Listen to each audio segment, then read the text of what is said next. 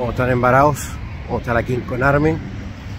¿Cómo están Pantuflexos, Cristalitos, Sapiners? ¿Cómo están los Fefitos? Oye, tenemos programa hoy a las 22 horas, feriado. Muchos se echaron al pollo de, de Santiago, sobre todo. Pero hay temas, ¿ah? Eh, Palestino ayer, más allá del empate con el DIM, mostró un camino de lo que se puede hacer en el fútbol chileno, de cómo proteger el espectáculo. Eh, fecha, fecha importante, entramos en tierra derecha en el campeonato.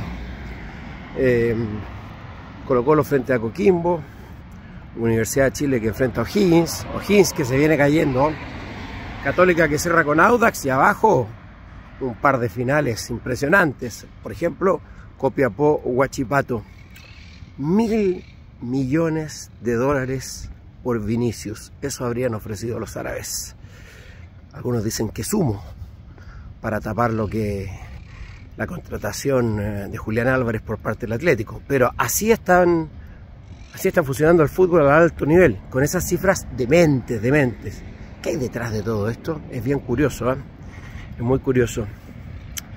Hay un detalle con respecto al, al tema de, del arbitraje que le salió mal a la NFP.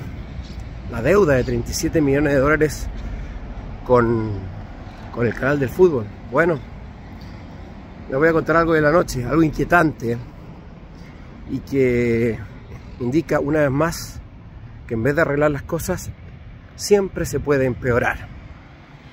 El último empeorador, le podríamos decir a Pablo Milán. Nos vemos a las 22 horas con Culvet y Mercado Pago. Chao cristalitos, aprovechen el día feriado, caminen, tomen aire o tomen smog, tomen lo que quieran. Nos vemos, 10 de la noche.